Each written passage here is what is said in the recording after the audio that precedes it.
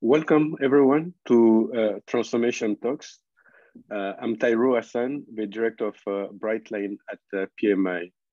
Uh, we are very happy to have you with us today. And uh, the talk today would be about exploring strategic doing in evidence-based, practice-proven framework for digital transformation and resiliency in organizations. strategic doing was incubated at Purdue University and leaders are utilizing it across the globe for organizational transformation.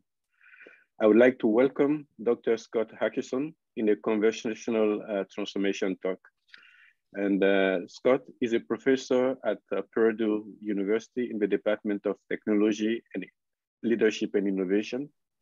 And uh, he's the founder of Hutcheson Associates. Uh, as you may see or you may have uh, read, Scott helps leaders design, grow, and strategically transform organizations, communities, and ecosystems to make them more adaptive, innovative, and uh, competitive.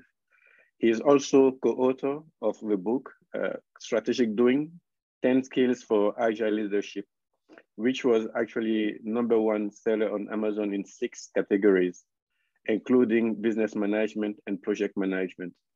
Uh, welcome, Scott. Thank you. Glad to be with you. Let us uh, get starting. Uh, the topic today is about uh, how digital transformation can help facilitate organizational resiliency.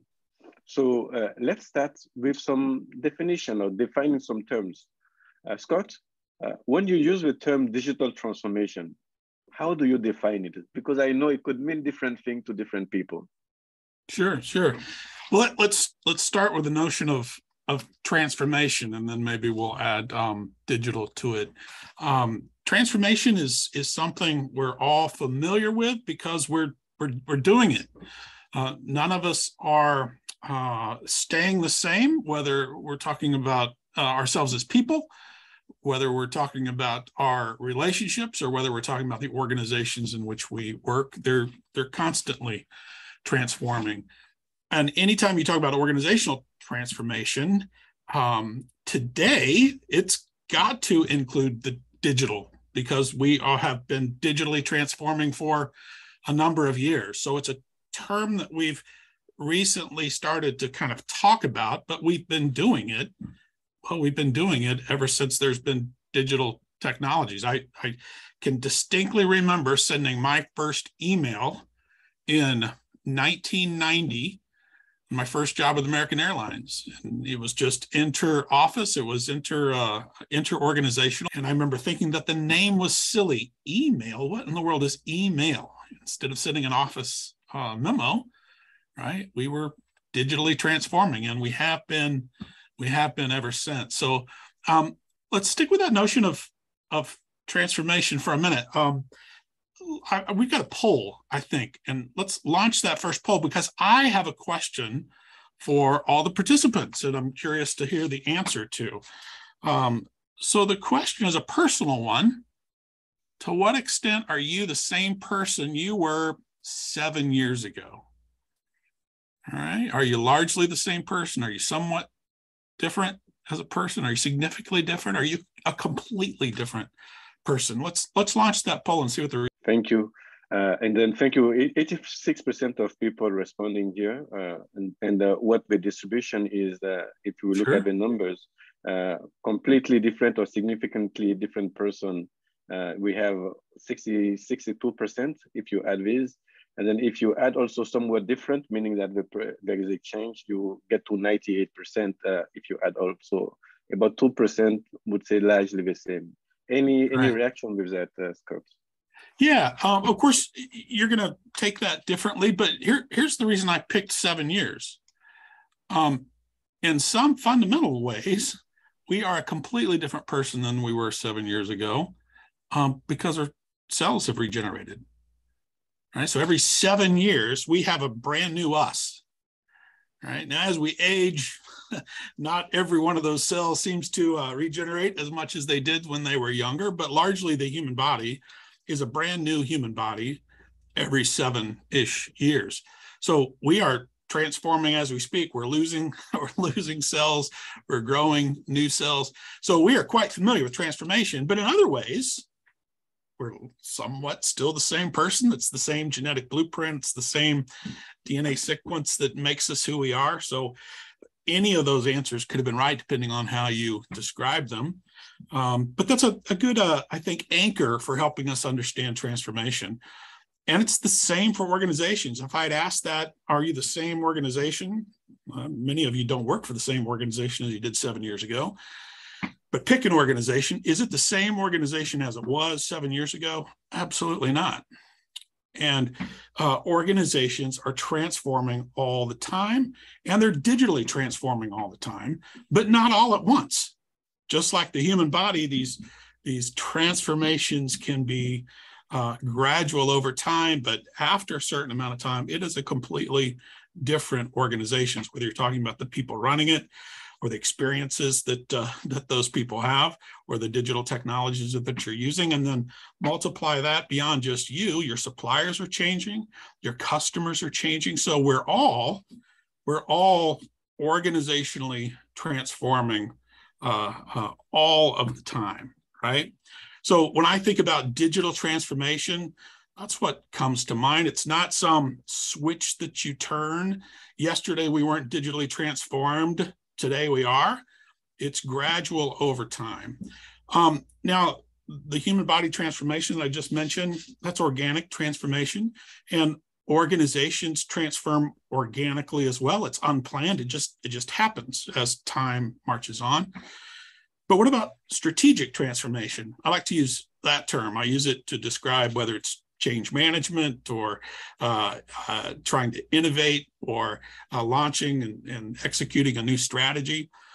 Now that's strategic transformation. So that's a little bit of a different animal. So how do we um, uh, harness our power to transform in a way that ties to our strategic objectives?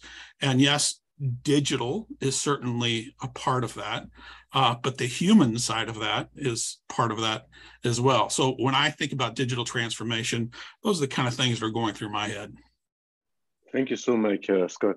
And uh, you know, as you were mentioning uh, the seven-year window, uh, I was thinking, and uh, we were looking at a book that we released last year regarding perpetual transformation we're noticing that it's not something that is uh, one and go. You know, uh, what we're finding is, of course, you shift, but by the time you realize the, the ecosystem is changing, the environment is changing, the customer demands are changing. So you are really in that perpetual cycle where you shift and you shift and you shift, uh, and and and that is the new way of being.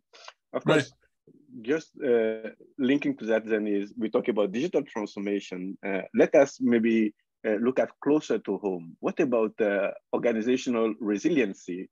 Huh. And uh, what, what is a helpful way maybe to think about uh, resiliency? Yeah, so um, resiliency is a, another term that we we use a lot. And, and what does it mean? Well, it's our ability to withstand uh, interruptions, uncertainty. Uh, when we get knocked down or when we take a punch, do we do we fall down and we're, we're like that boxer out for the 10 count? Uh, or do we keep on our feet? Or at least if we get knocked down, how do we stand back up? So again, let's let's kind of anchor it to ourselves as human beings. Um, we we talk about you know I'm a, a, part of my job is as a professor, so we, we talk about student resiliency a lot more than we did a a few years ago, especially post COVID. Um, we talk about mental health a lot more than we used to and have many more supports uh, for our students and for our faculty. So I think we, we've gained a better understanding of what uh, personal resiliency is.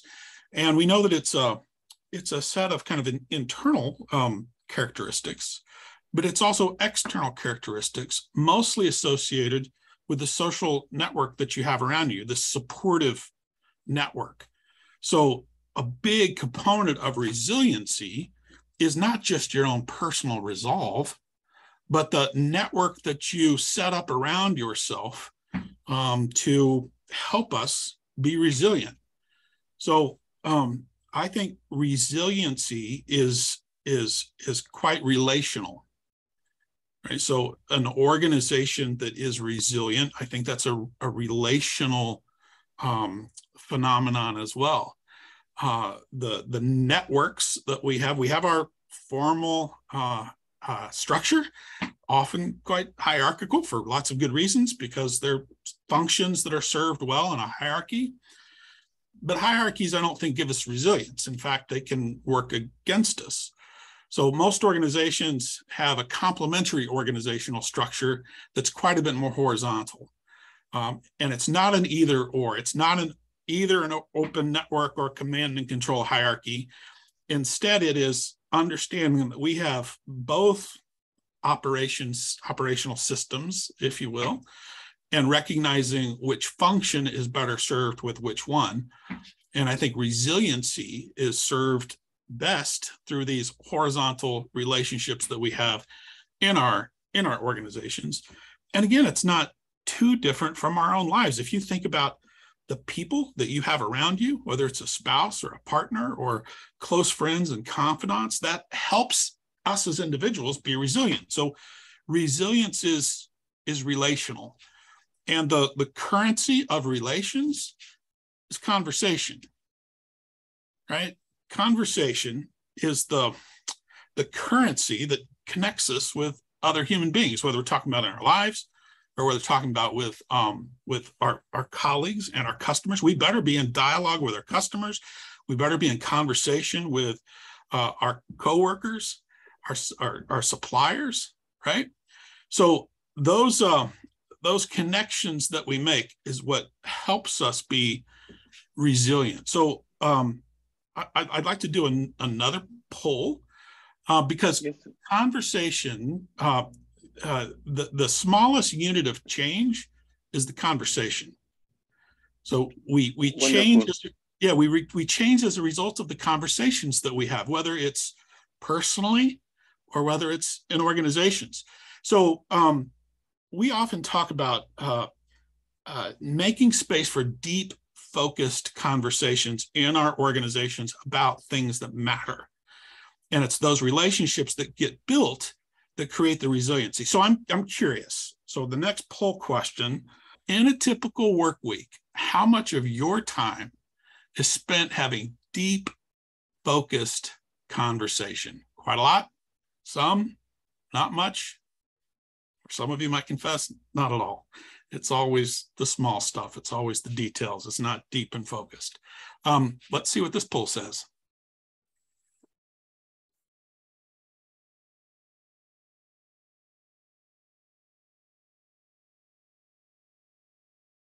Hope we get as good a participant yeah, no, rate as we did in the last the, one. The, the, participant rate is just amazing. Uh, we are clocking 80% uh, and over. And uh, I'm glad to report that we have uh, uh, about 140 attendees uh, with 400 and more registering. So this is amazing here. And thank you for the reply. and I think, yeah, about 85% response. yeah, good. Let's stop here. And uh, these are the results. Uh, uh, what we're seeing really uh, in, in, terms of uh, quite a lot, only about 13% get into quite a lot, uh, but spend quite a lot of time in deep conversation. And then some about 50%. And then we have another 38% that is either none or not much. for mm. none, we are at 3%. What, what, okay. what, does it, what does it tell you? Is there any insight you're pulling from this, Scott?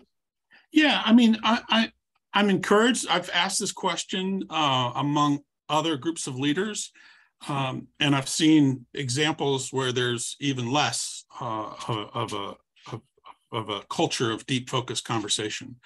Um, so I'm encouraged. I'm encouraged, and what that means to me is that um, those of you who are finding time, uh, you're doing so deliberately, because if you don't do so deliberately, you won't you won't find the time. We're all overworked, we're all busy. There's so much taking up our attention and our energies that's not at that deep focus level. Um, and again, uh, relationships take care, right? So it, you know we we we know from research that deep focus conversation, again in our personal lives, results in better quality of life, uh, better um, uh, satisfaction with your lives.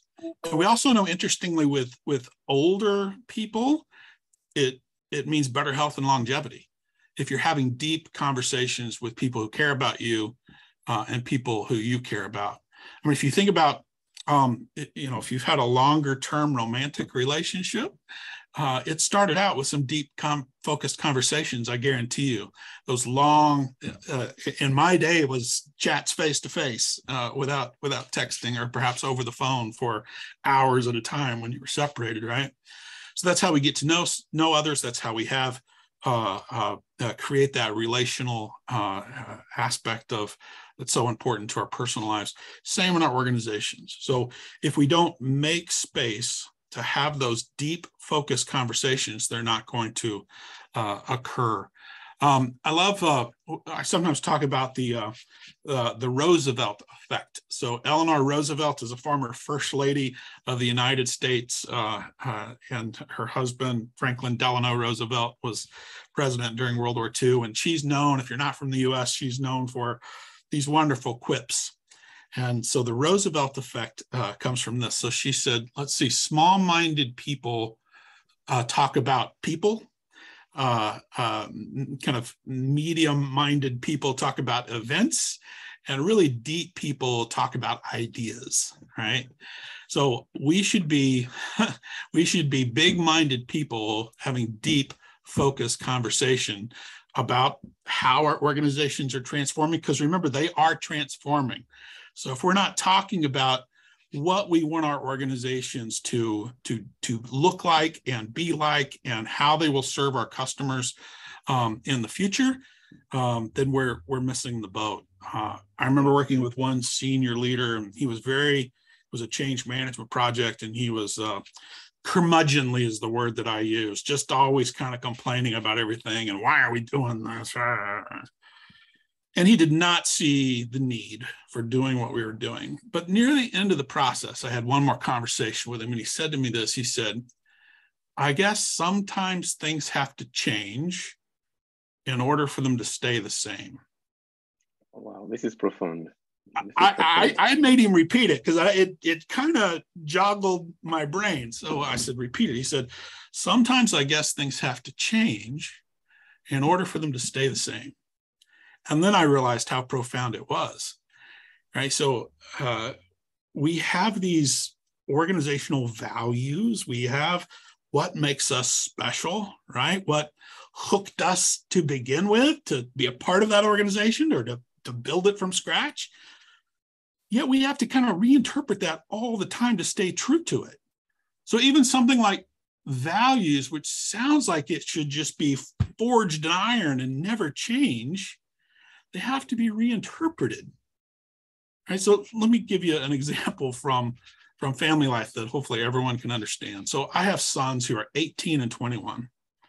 When they were little guys, when they were three and six, the best Friday night they can imagine was Friday night movie night with mom and dad. So we'd get pizza or we'd get something, we'd make cookies, we'd settle in to watch a family movie right? Why? Because we all valued quality family time. Now, my wife and I could have articulated that. My boys couldn't articulate it, but they valued it. They loved it. You know, it was Wednesday or Thursday. What movie are we going to watch? Can we get pizza on Friday night? You know, so so that so our value was quality family time. But we have had to revisit what that value means at every stage in their development, right? So imagine if I only interpreted quality family time as Friday night movie night and they're 18 and 21, you better be home every Friday night for a family movie night.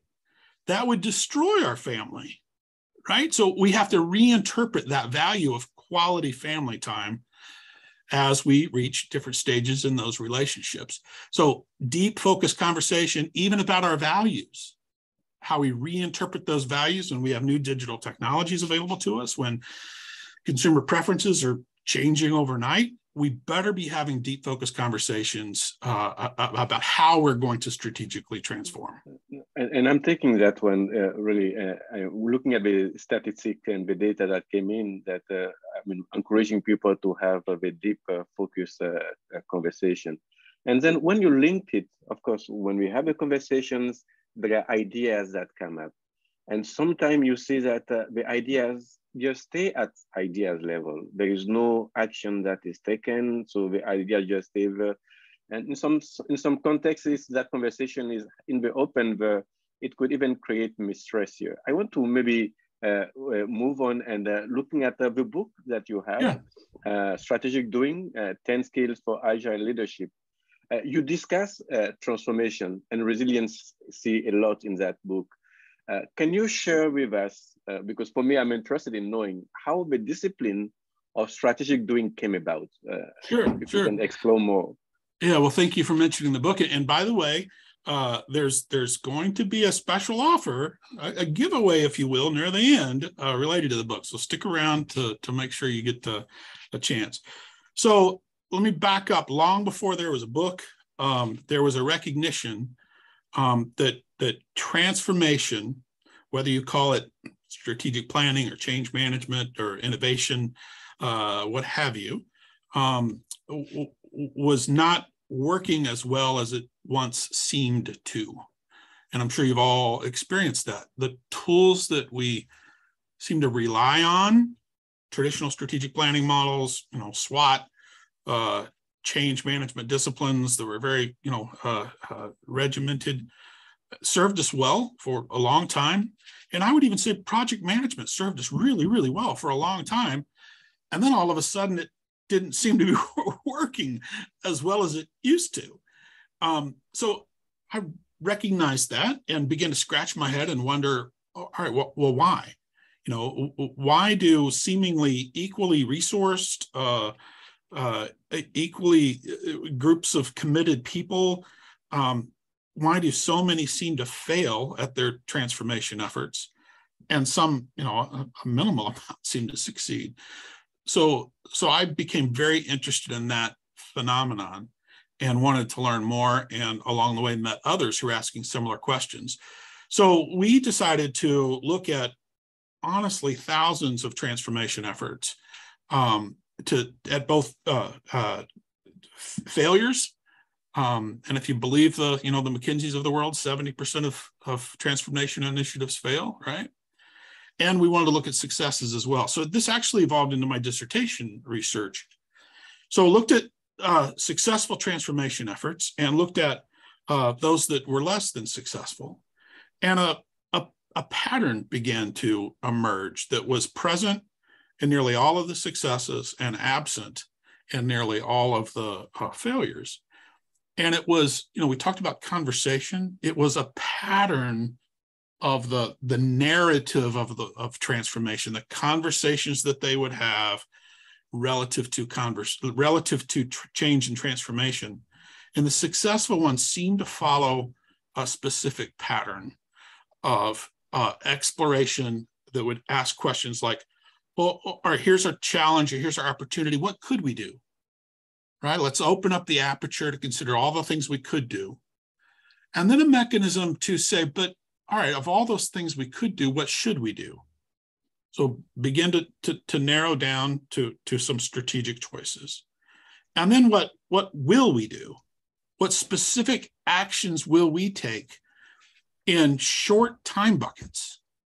Right? Over the next 30 days, what will we do? And then we'll come back together and we'll we'll we'll we'll consider what what we'll do in the next 30 days, the next 30 days. Now, 30 days wasn't always the pattern, but there were these triple feedback loops, constantly looking at testing assumptions um, uh, and, and, and, and taking a look at the context to see if it had changed. So we recognized that pattern and we found kind of 10 markers on that pattern. And those 10 markers became what we began to refer to as the 10 rules, right? And by rules, we, we did, I, I didn't mean um, like rules of monopoly, but more heuristics, rules of thumb. So I, I, I teach, uh, uh, I end up having a lot of student athletes in my, in my classes.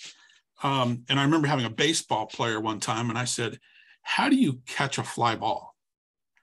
right? And he he couldn't explain it. And it, as it turns out, there's a mathematic formula for how you catch a ball. But does he have that mathematic formula in his mind? No. He's following like two or three rules in terms of where you set your eyes, how you move your body in relation to that, right? It's kind of intuitive. So, so there are these heuristics that seemed to be present in this uh, pattern. And that pattern, we began to see if we could articulate see if we could not just look at it in, in, in retrospect, but could we design strategic um, transformation processes using that same pattern? And that's what evolved into what we now refer to as strategic doing, the strategic doing discipline. So we, we have this 10 set of rules and then a set of leadership skills. And the subtitle of the book is Agile Leadership. So, what are the 10 skill sets that a leader needs in order to lead an organization or a team with with agility so so that's where uh, both the notion of strategic doing and uh, the the kind of what's under the hood sort of came from and we began practicing it before we called it strategic doing and realized it's doing. We you know there's certain things you can only learn by doing um, whether it's riding a bike or whether it's you know figuring out how to uh, fix your car. You can you can't just watch youtube videos or read about it. You have to do it. So transformation is is the same. We we we learn to transform by by by doing but then doing strategically. So we began refer to it as strategic doing and began um, uh, teaching others those those 10 skills and how to apply them Thank you so much for setting that stage uh, on strategic doing. Uh, I have a question that is coming uh, from uh, Vivek Sona. So the, the question is, I witness individuals, teams, members giving up midway just because they lost patience. What's your view on, on it? Uh, so, so, so, so basically, we were saying that things are changing, but sometimes the attention span or the willingness to wait and see or the result come to, to fruition, uh, sure. organization don't have that patience. Right. And, and understood, we, we, we don't have the, the same patience as individuals often for, for long time uh, change. It's just part of the human nature for, for most of us. So how do we build in, um, there's been a lot of research done on the power of small wins, right? So how, how do we create um, processes in which we can have small wins.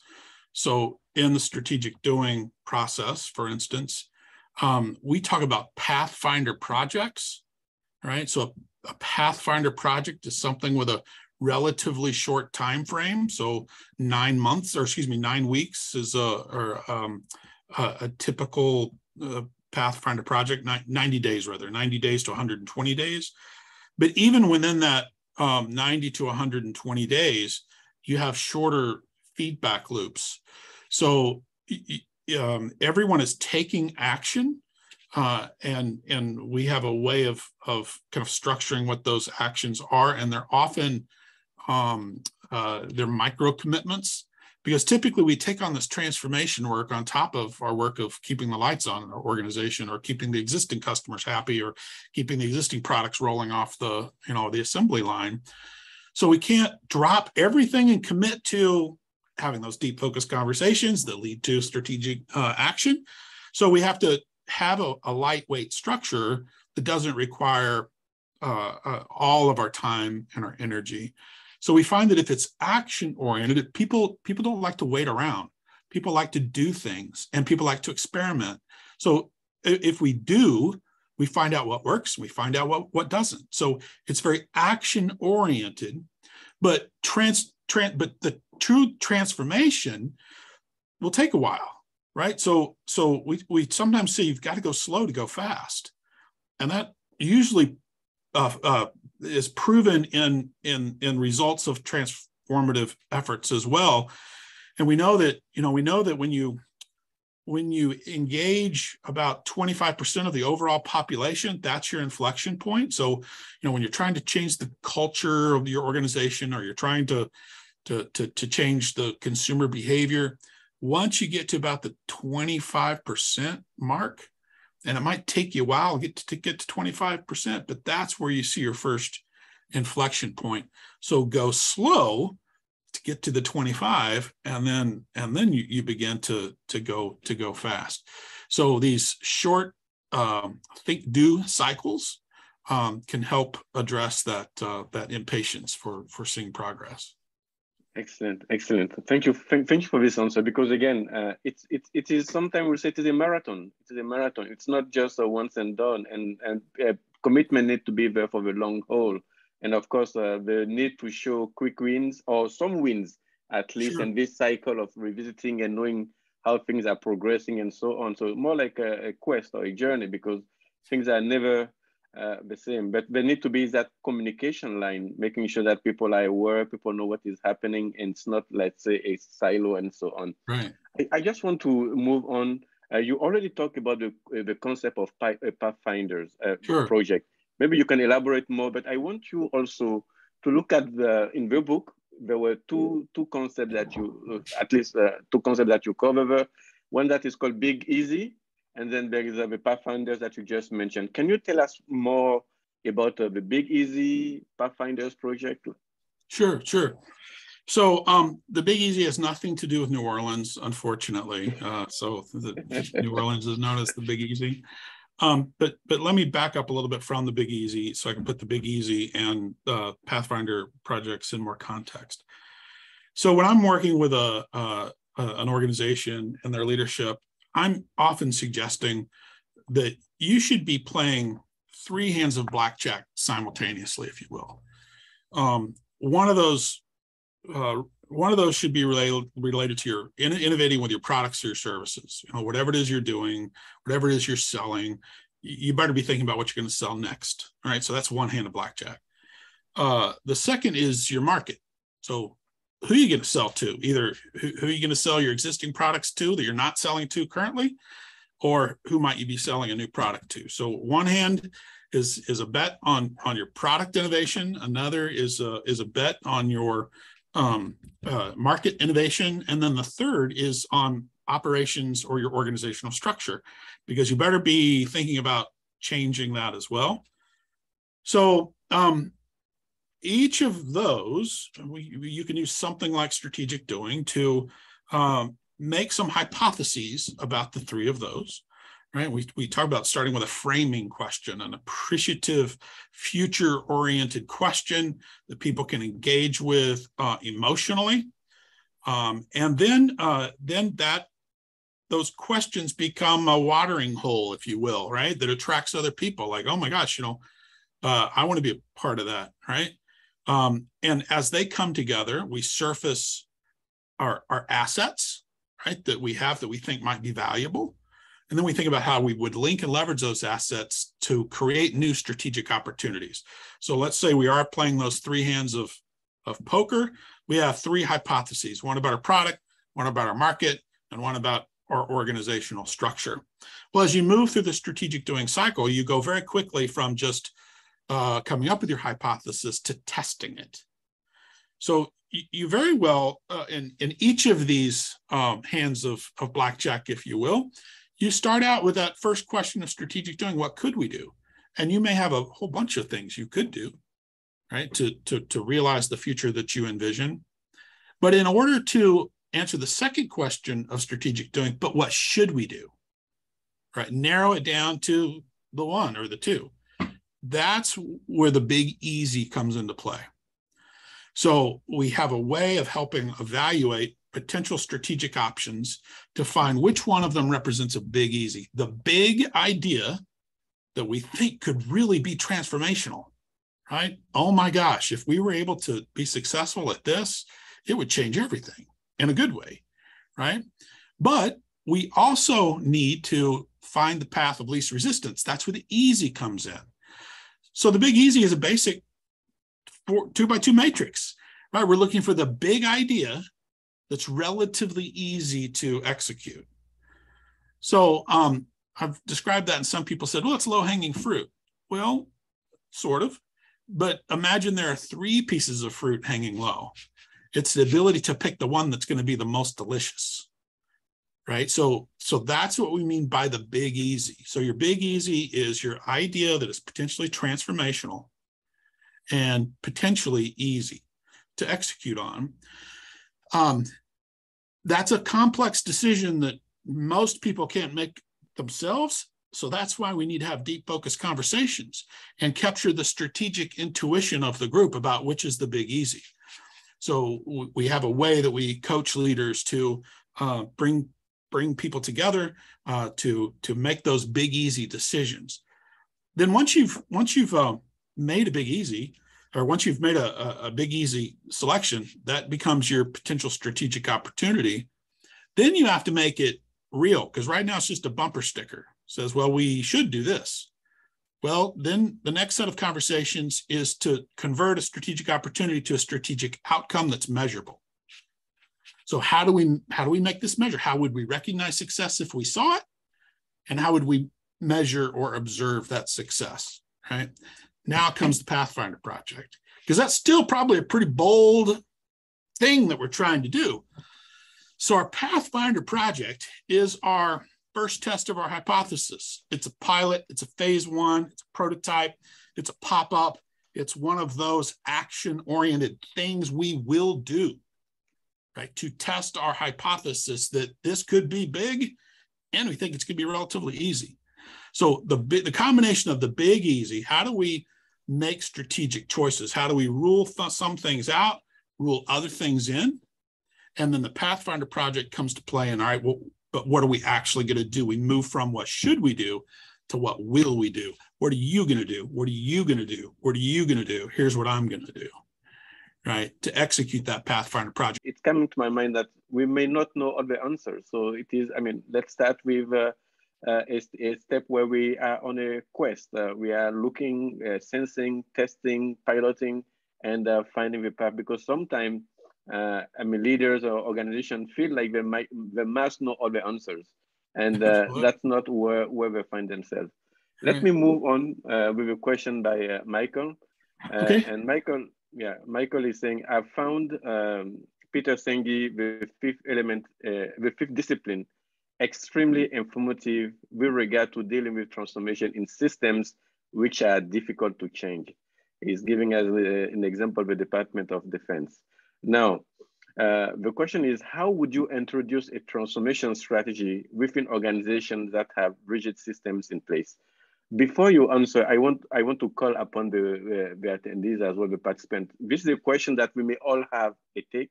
I want sure. you uh, to, in the chat, the, to also jot your idea regarding how you'll address that question. And then uh, uh, uh Scott will also give us some hints. Go ahead, sure. Scott. Well, welcome to my world right? That's the world that I live in. So I'm at Purdue University. If you don't know anything about Purdue, it's one of the uh, top public engineering schools in the United States. Uh, aeronautical engineering uh is is one of our, our, our most successful programs, as is uh, agriculture and biological engineering. But we have all the other flavors of engineering. One distinction about Purdue is uh, more astronauts have walked in space that are Purdue graduates than graduates of any other university. You may have heard of this guy named Neil Armstrong. Not ever sure whatever became of him, but he's a graduate of Purdue. Of course, Armstrong was the first man to walk into space. So I work in a very engineering centric uh, uh, organization, and I'm a social scientist. Right. So uh, I work every day with um, uh, a mindset that is uh, trained to think of constraints and that is trained to think of the world and of organizations as uh, machines, right? Uh, that are predictable. Of course, they don't, they know that it's not, but the, the mindset is that it is, right? So I've had a lot of strategic doing related projects in very engineering uh, and technology focused organizations. Uh, we've worked with NASA. Uh, we've worked with um, one of the large military contractors in, in just those situations in which change, innovation, and strategic transformation are really, really difficult because, because the DNA of those organizations is to de risk everything, right? And to focus on greater and greater efficiencies, right? We need that. Of course we do, right? That's what built the industrialized economy uh, and built wealth in, in, in a way that has never been seen before, right? But but when when that mode of working is starting to play itself out and we need to transform digital or otherwise, it makes it really, really hard. And organizations have immune systems, just like our human bodies. And when something comes in that feels like a threat, it fights back. Even if you could go one by one and ask people, yeah, we want to transform. Yeah, we want to transform. There's something about the collective that behaves differently, right? So I found that you have to offer an experiment. I, so I often come into a place like NASA or a place like uh, big military contractor. First of all, they found their way to me because something that they've been trying isn't working. We're trying to transform, we're trying to innovate, we're trying to change, and by gosh, we just keep spinning our wheels. And very often the narrative is this: we just hired fill in the blank for one of the large consulting firms. They worked with us for a year. They delivered a plan. We paid them six, sometimes seven figures but we don't we don't know what to do right? They, they they gave us a diagnosis or they gave us some ideas but we don't know how to execute on them. So what i do is i i, I come in and i say no sweat. Let's pick one recommendation from that report. Not the not the top one but not the small stuff somewhere in the middle. And you said if we made progress on that we'd all be happy right? So I'd say, great, let's experiment with a new way of trying to do that thing. And then you be the judge. In 90 to 120 days, you will have evidence to say, are, are we able to get things done in this way? And we haven't been able to get things done in this way? I, I don't know. I think you will, but I don't know, but you will know, right? And then once you know, then we can decide, all right, well, how do we do more of our work in this way? Or how do we get better at deciding what of our work needs to work in the hierarchy? It's very well served by the hierarchy, but what of our work, and transformation is one of them, is not served well in the hierarchy. We don't, we don't, so so to to so I don't trigger the immune system by saying, break down the hierarchy. No, you need to be ambidextrous. You need to say some of our functions work great in a hierarchy, some functions just won't work at all. So you have two operating systems, right? You have one built for hierarchies and the tools that go with that. And then you have another operating system with tools that help you do that more horizontal transformational work. So I, I frame it as a as an experiment and I frame it as I'm not asking you to get rid of what you've been doing. I'm asking you to consider another operating system. I think 15 years ago, when I switched from a PC to a Mac, I wanted a divided hard drive, a partitioned hard drive, so I could boot up DOS and Windows, or I could boot up the Microsoft OS because I knew there were some functions that were better done with one operating system and some that were better with the other. And it took me a long time to wean myself off of the PC. So um, uh, present it as two different operating systems, not one trying to destroy the other, but they can operate in parallel. And then start with an experiment and gather the data and see for yourself it works. Wonderful, thank you. I know, I know, but I will, I'll just maybe add, but that sometimes we need to let the all go for the new to emerge as well. So, so how you you manage that is is the challenge, right? Uh, I yeah. completely align because how you get harness the power of people, how you get people together, so that again, because that willingness, because it is my baby today. I I'm, i mean, I don't want to let it go, and, right. and you ask me, how do I make a transition? Yeah. that, that baby sometime uh, would grow, would need to work sure. on his or her own, and so on. Let let so, let have. Uh, go ahead. Go ahead. Yeah. So what what what we found is that so so here's the hierarchy, right? So here's the hierarchy, and we say, all right, well let's let's slide this other operating system underneath this hierarchy, and you migrate just a few of your assets to this new way of doing things and it's it's you know you're still on your regular team but this is pickup ball on the playground right we're going to experiment we're going to find you know what we can do if they see that that this creates value, they find more ways to dismantle parts of the hierarchy and migrate it to this new way of thinking, right? And this new way of, of doing. And the old starts to, to, to melt away and the new emerges. But here's, here's the crux of the matter. The new will become hierarchical after a while, right? Because you get set in your ways. So it is a constant, you know, we, every organization started out as an open network anything goes we'll take on risk. It may have been 150 years ago for some of them but that's how they all start out.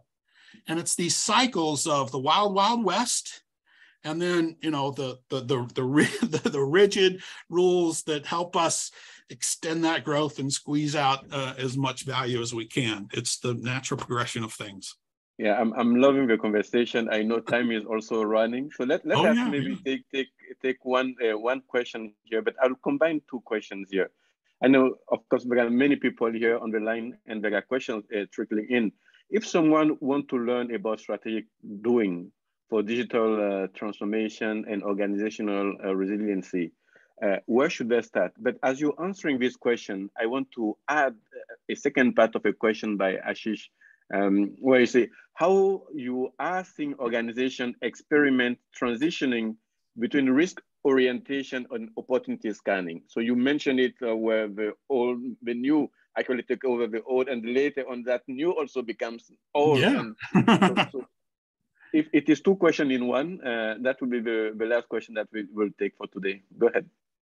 Yeah, so let's start with that risk question.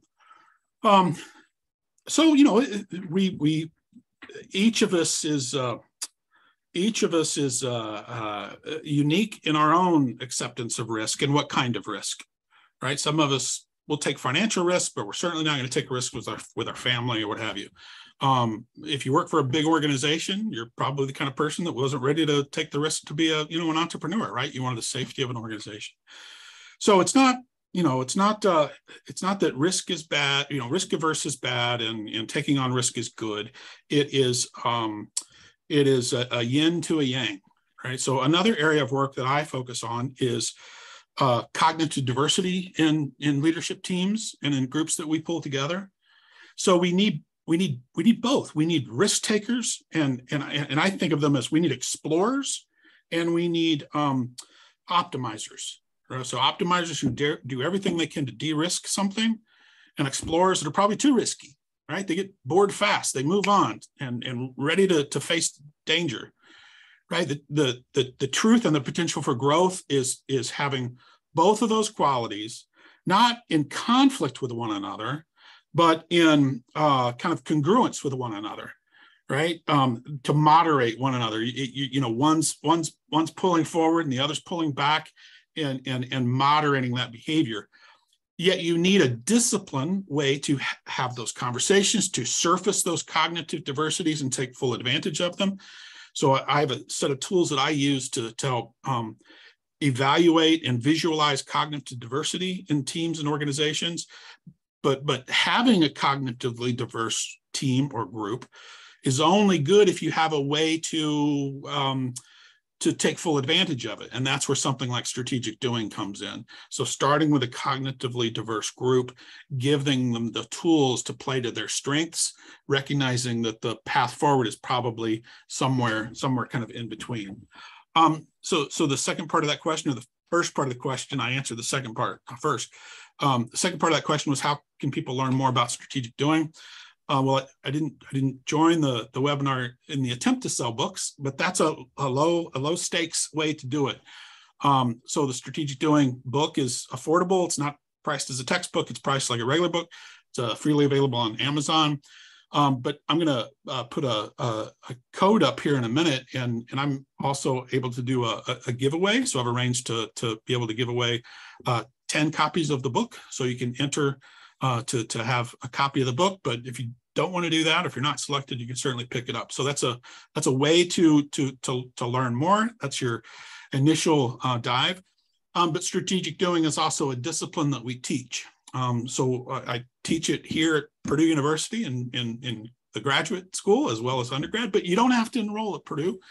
Um, long before it was actually a, a college course, a university course, it was a professional development training. Um, so we, we do strategic doing practitioner trainings uh, several times each year. Um, and you can find more about that at, uh, at that link as well. So those are that's a much deeper dive, of course, than a book, uh, but a book is a great place to start. Uh, you can even Google. You Google strategic doing, you'll you'll find a lot out there. Uh, so I urge you to just uh, just start exploring and learning. Thank you so much. Uh, thank you so much. Really appreciate it. And of course, I uh, uh, someone is saying the link is not visible. So I think Rohit will share the link in the chat so that everybody have access to it for people interested in the complimentary copy that Scott has kindly agreed to provide us. So thank you so much, uh, uh, Scott. Uh, I mean, this has been insightful. I mean, really great conversation here. whenever I talk about expert and thought leaders in transformation strategy, my dream is always to see that 70% number coming down because you right. hear it uh, spell every time 70% of organization failing and so on. Uh, it, it, is, it is a hope that uh, we'll get more and more organizations that are successful and uh, that we could actually build a resilient organization. So thank you for, for the time. I know we are at uh, the time here. I'll ask uh, for us to get the next slide. And I want to share uh, also some good news, uh, some good news uh, regarding a new book also that is coming up soon. it is about building resilient organizations. as many of you may know, one of Brightline's pillar is about thought leadership. So every year we work on uh, bringing to life uh, a, com a, compendium of best practices when it comes to transformation strategy in organization. And the next one is building resilient organizations. I often say this is not a book that you read from cover to cover.